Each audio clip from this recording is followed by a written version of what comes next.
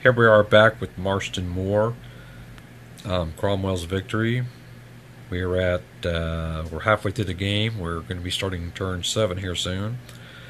Um, just wanted to provide a quick update. Um, let's see. Byron's right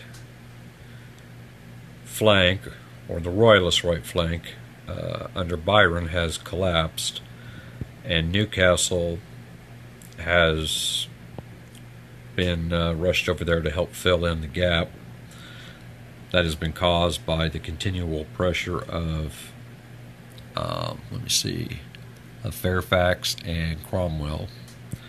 The center is seeing a lot of disruptions on either side, a little bit of rallying here and there, but at the moment the parliamentarian center is very disrupted. But the royalist center can't seem to make getting traction to take advantage of the disrupted parliamentarians. And on the far left of the royalist um, position, Goring has still failed to make any progress. His forces have now pulled back behind the ditch again.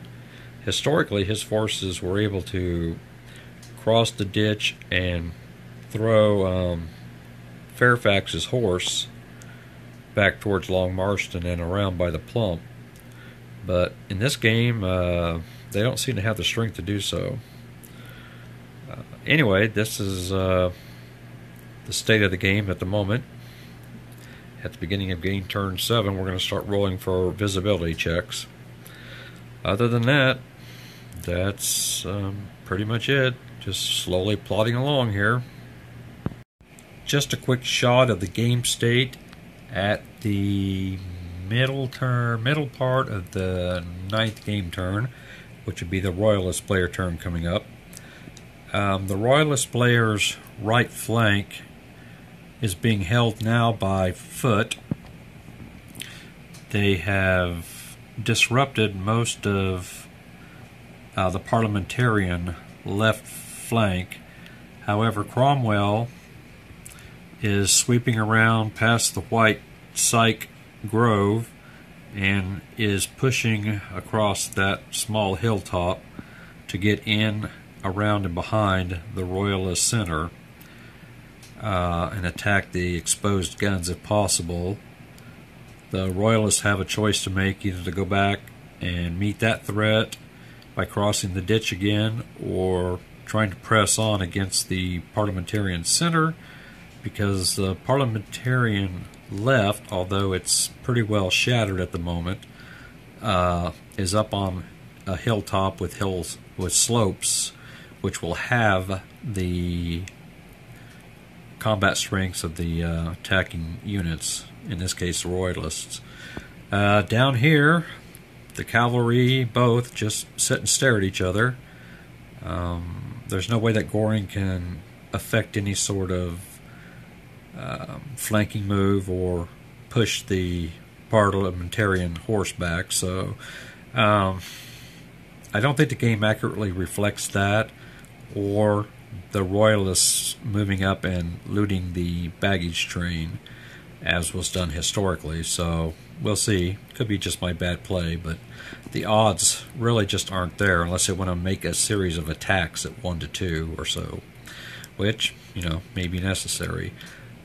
I've been doing one to ones for the most part now, and uh, they haven't been too bad as long as you roll low. Um, but up here on the parliamentarian left, um, the royalists have just, you know, smashed the horse and foot that was trying to envelop them. So, yeah, anyway, this is an update starting the Royalist player turn of turn 9. So we're getting close to a resolution here. And just a few more turns to go and we'll see what happens. Okay, here we are at the beginning of turn 11.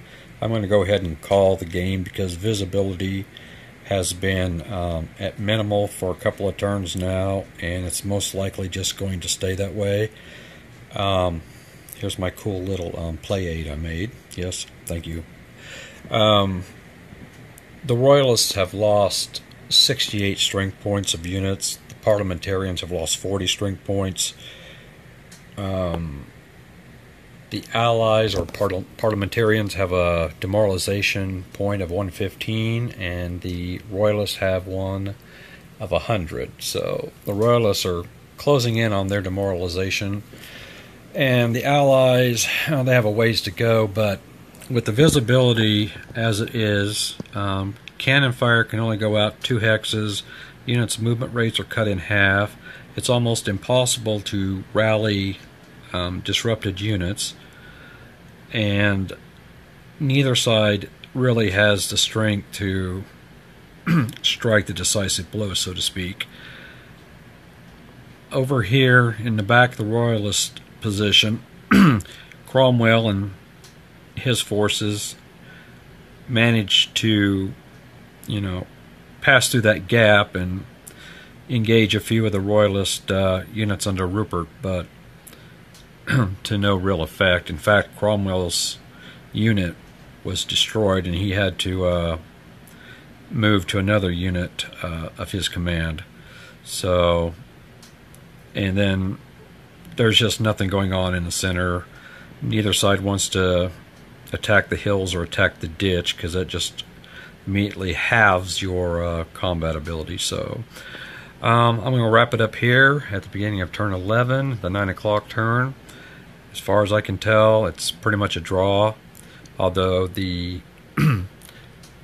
Allies have a little bit higher score, but um, probably about a 2 to 1 margin. But I'm not really going to count you know, count points and stuff uh, for victory. I don't really care. Uh, it's just how much fun I had with the game, and I had a pretty good time.